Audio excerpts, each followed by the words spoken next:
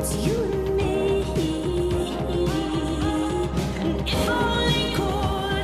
a deal with God, and I get him to swallow pollution.